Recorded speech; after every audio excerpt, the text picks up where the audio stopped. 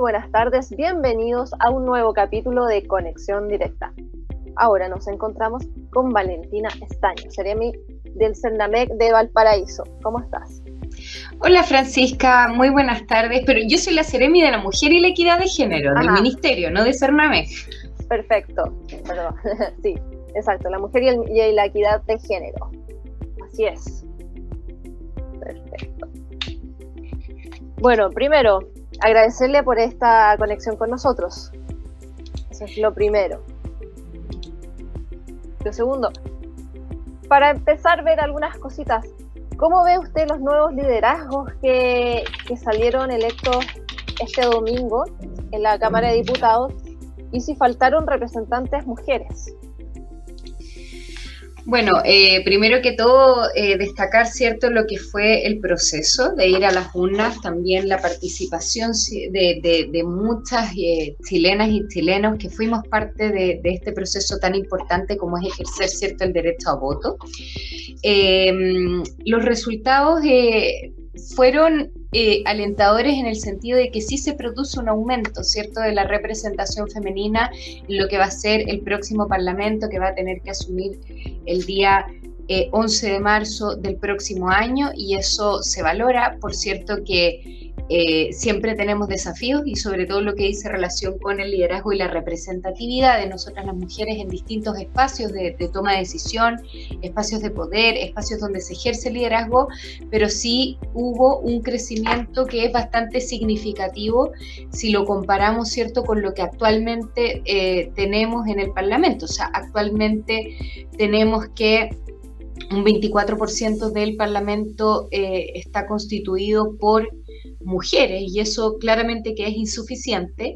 Y este año, o sea, lo que va a ser el 2022, la Cámara de Diputadas y Diputados aumentó en un 35,4%, sigue siendo menos del 50% y eso es bastante desalentador, pero sí hay un alza en un 29,7% y el Senado quedó con una constitución de 24%.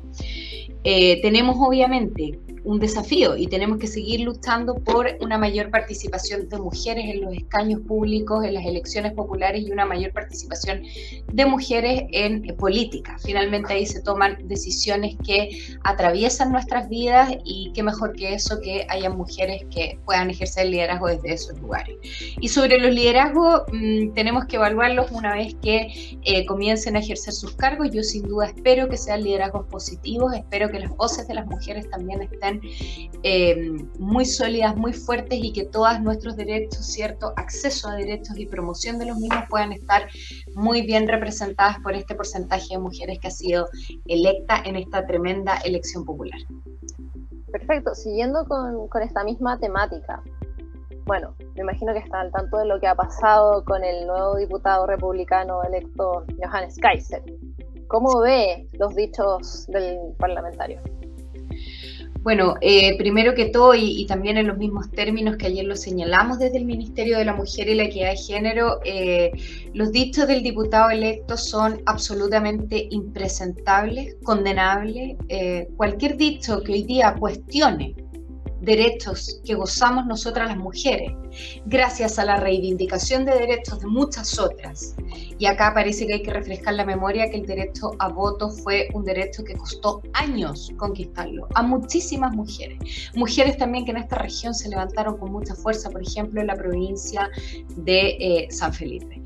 Cualquier, cualquier expresión que atente contra nuestros derechos fundamentales conquistados a través de reivindicación de derechos, lo cual ya es muy violento, es una forma también de ejercer violencia de género. Así es que yo expreso eh, acá mi máximo rechazo, condena y repudio frente a esas declaraciones. Por supuesto, y, no es para menos, ha generado una gran polémica el nuevo parlamentario republicano. Pasando a otro tema, pero también ligado ¿cierto? a las mujeres, sobre todo a las madres. Y cómo, cómo, em, cómo ve eh, la nueva aprobación del DICOM para los padres deudores de pensión alimenticia.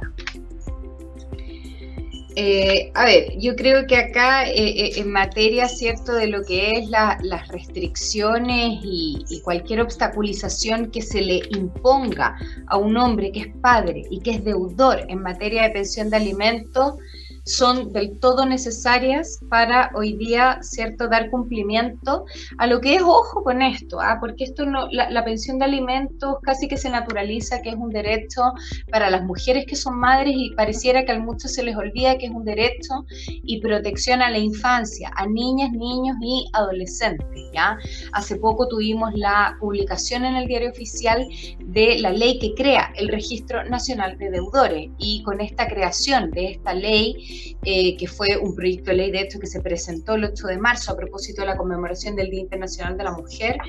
Em, con la aprobación de esta ley vemos cómo van a haber un cambio importante de condiciones en lo que era la actual legislación a lo que tenemos, a lo que tenemos hoy, con obstáculos precisamente, para restringir las libertades. Es decir, se acabó, como se dice, la fiesta a estos papitos corazón. Hoy día sabemos que el 85% de hombres eh, demandados en pensión de alimentos debe el pago de la misma y por lo tanto había que descomprimir, que descongestionar y desburocratizar lo que es un proceso tremendamente doloroso para la mayoría que son mujeres, que finalmente son las representantes legales de los niños y niñas. Y, también acá es importante visualizar que las mujeres en Chile son las principales cuidadoras, son las principales responsables de las crianzas y de la manutención de muchas niñas, niñas y adolescentes. Y tenemos hoy día que hablar de corresponsabilidad. Es decir, no puede ser que la paternidad solo esté definida biológicamente. El mínimo esperable de toda eh, proveedor, ¿cierto? Madre, padre, es que provean de igual forma y contribuyan de igual forma en el pago de la pensión de alimentos, que involucra una manutención en términos generales y, por cierto, también en cumplimiento de relaciones directas irregulares cuando eh, madre y padre se encuentran separadas y siempre, obviamente, con el recuerdo de que no exista alguna situación de violencia intrafamiliar em, de por medio. Pero toda iniciativa hoy día que restrinja las libertades de aquel hombre que es deudor, son un avance que nos va a permitir que el pago de la pensión de alimentos sea una realidad para las muchísimas niñas y niñas y adolescentes que hoy día no perciben alimentos por parte de sus padres. Perfecto, muchísimas gracias. Y abarcando ahora precisamente, yéndonos al tema de la violencia intrafamiliar contra la mujer, ¿cómo lo ha visto estos últimos, estos, estos últimos años y este periodo, este año sobre todo, bueno, además desde que empezó la pandemia, han habido por lo menos más reportes en carabineros en todo Chile. Pero específicamente en la región de Valparaíso, ¿cómo ve esta situación?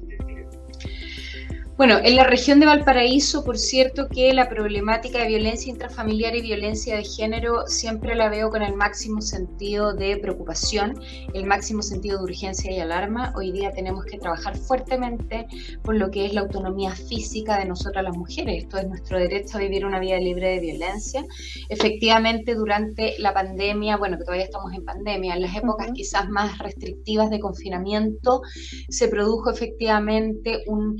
Al principio una contracción en las denuncias, porque claramente había imposibilidad muchas veces de salir a denunciar y por eso que nuestro ministerio implementa todos estos canales de orientación y ayuda, canales remotos como el 1455, el WhatsApp Mujer, y eso sí se incrementaron eh, con el desarrollo de la pandemia, es decir, había un número importante de mujeres sobrevivientes de violencia y también quienes son testigos de estos hechos que llamaban para recibir orientación, apoyo, eh, qué hacer, cuáles son los tipos de violencia, dónde poder denunciar. Y luego también se produce efectivamente un incremento en las denuncias. En nuestra región de Valparaíso eh, tenemos una, una situación que, que, como les digo, alarma. En lo que va del año han ocurrido cuatro femicidios consumados, esto es cuatro mujeres asesinadas en manos de sus parejas o exparejas y más de 20 femicidios frustrados. y efectivamente esto eh, nos impulsa a trabajar con mucha más fuerza aún interinstitucionalmente en prevención, sensibilización y por sobre todo concientización.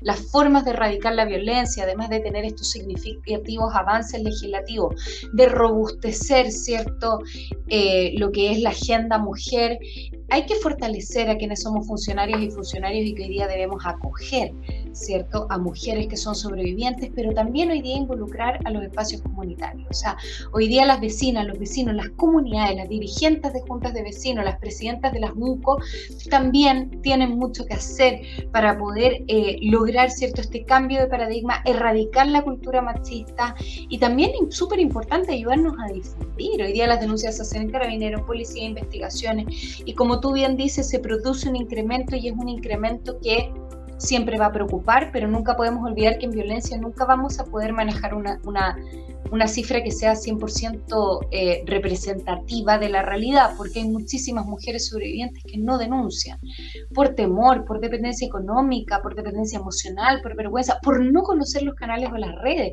mujeres rurales por no tener acceso tampoco a la información. Entonces hoy día la, la, cifra, si bien algo nos, nos, puede decir, no es representativa nunca en violencia de género, siempre hay un porcentaje de mujeres que no están denunciando.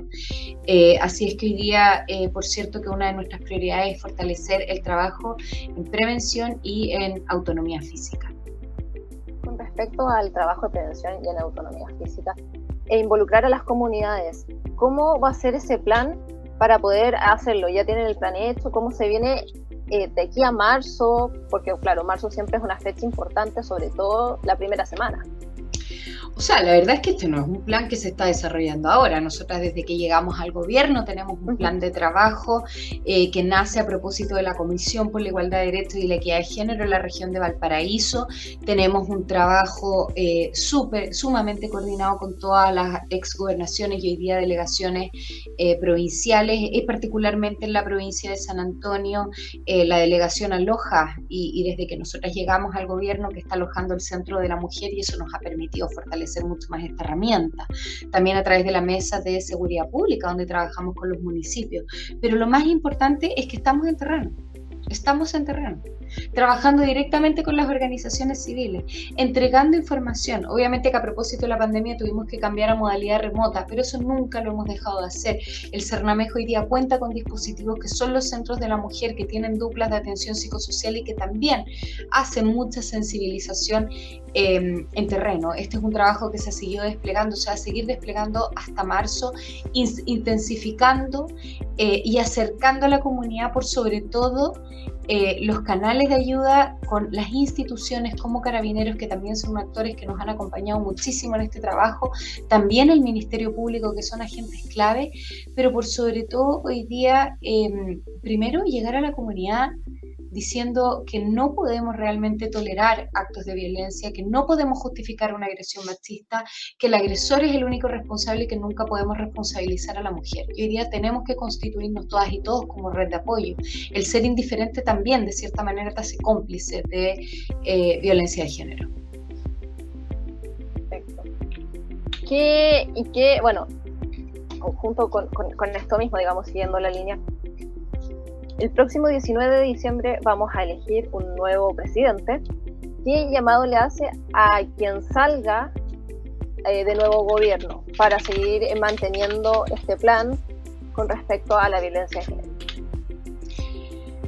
Mira, yo, yo en realidad creo que hoy día cualquier eh, persona que esté eh, postulando a un cargo de autoridad pública, el, el llamado es a trabajar sin tregua, a trabajar sin descanso por la transformación cultural, a implementar, a seguir en el trabajo de implementar, diseñar políticas públicas que permeen y transversalicen el enfoque de género, mirar lo que está pasando hoy día en la primera infancia, la educación, es un sector tremendamente importante para poder generar el cambio cultural que necesitamos, o sea, hoy día necesitamos fortalecer una educación no sexista, una educación libre de sesgo de género, hoy día necesitamos fortalecer la autonomía económica, política y física de eh, todas las mujeres de Chile. Tenemos que acercar los servicios al territorio, por ejemplo, a las zonas rurales, donde hay más dificultades aún para que las mujeres accedan a las instituciones, establecer acuerdos de colaboración, fortalecer el presupuesto también del Servicio Nacional de la Mujer y la Equidad de Género que tienen los programas. Y hoy día también tener una mirada amplia en todo lo que es el irrestricto respeto también a eh, las personas que eh, son eh, de la comunidad LGTBI y más a toda la diversidad, ¿cierto? Hoy día tenemos que avanzar en un Chile inclusivo, en un Chile que abrace a todas y todos, porque acá tenemos que construir políticas públicas que se sostengan en la base del irrestricto respeto a los derechos humanos. Y en el irrestricto respeto a los derechos humanos no hay diferencias entre mujeres y hombres, no hay diferencias em, por eh, identidad de género, no hay diferencias si eres niña, niño, adolescente, si eres adulta, adulto mayor, que son los grupos, las poblaciones más vulnerables de la población, las que hemos nombrado en este momento. Hoy día tenemos tratados internacionales ratificados por Chile y el respeto a estos tratados internacionales tiene que ser también irrestricto. Tenemos que también permear en el Poder Judicial para que la justicia también se aplique siempre con enfoque y perspectiva de género, porque eso es tremendamente necesario. Y por cierto, el llamado al nuevo poder también legislativo que se va a constituir, a que se priorice, a que se, eh, eh, en definitiva, se aprueben los proyectos de ley que hoy día fortalecen nuestros derechos. Perfecto, eso es muy importante y era, era parte de lo que queríamos hablar con usted. Y darle las gracias por darnos esta entrevista Conexión Directa. Muchas gracias Francisca, eh, quiero saludarlas a todas y todos quienes nos estén escuchando. Eh, sigamos siendo generadores y agentes de cambio y participando en procesos hoy día tan decisivos para nuestro país y para nosotras las mujeres. Perfecto.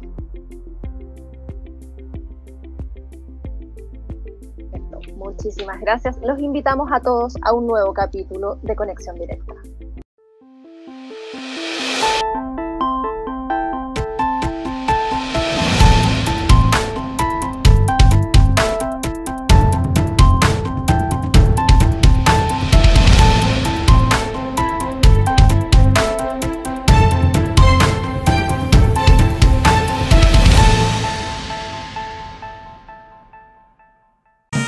Bienvenidos al paraíso. De la adrenalina. De los deportes extremos. Y los no tan extremos. Bienvenidos a un paraíso de sabores. Y sensaciones. Bienvenidos al paraíso. De la biodiversidad. Y la biodiversidad. Bienvenidos al paraíso del arte. Del patrimonio. La cultura. Y mucho más. Te esperamos en Valparaíso, región. Un paraíso explorar.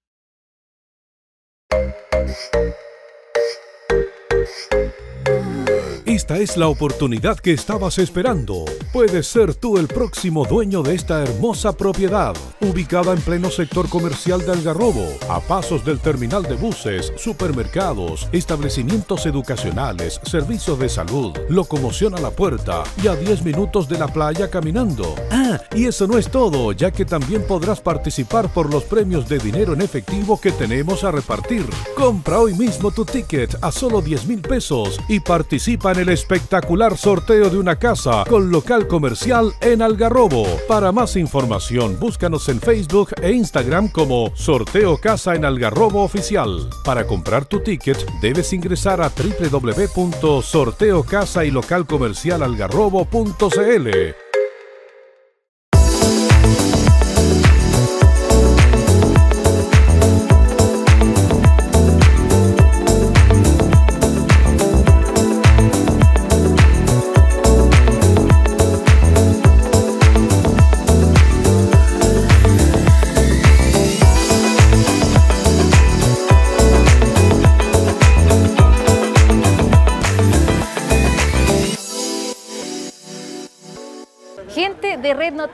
Les tengo otro dato, pero de carrete, aquí en la comuna de Algarrobo, Restobar Rufto.